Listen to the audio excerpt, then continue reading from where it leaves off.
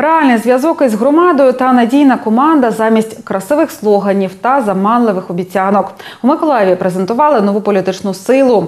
Що таке соціальна справедливість, розповідала лідерка партії Алла Шлапак. З нашого обласного центру Алла Шлапак розпочала всеукраїнський тур консультаційних зустрічей з небайдужими українцями, які мають активну громадянську позицію. Лідер соціальної справедливості ставить перед собою амбітну мету зібрати потужну команду для участі в парламентських виборах наступного року і всіх наступних місцевих виборах. чути людей, бути поряд з людьми, не втрачати зв'язок з людьми, не боятися людей.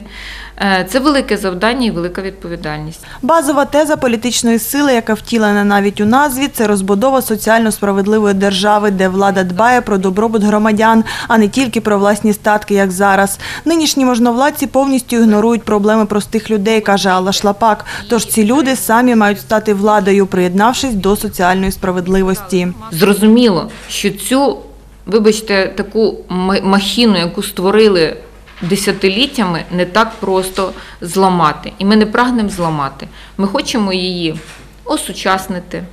Ми хочемо її зробити справедливою, Наразі партія Соціальна справедливість налічує понад 5 тисяч однодумців по всій Україні. Постійне представництва партії працюють у найбільших містах держави, включно з такими потужними південними центрами, як Миколаїв, Одеса та Запоріжжя.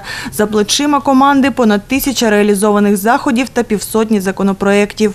Будувати разом справедливу соціальну державу Алла Шлапак закликає усіх однодумців.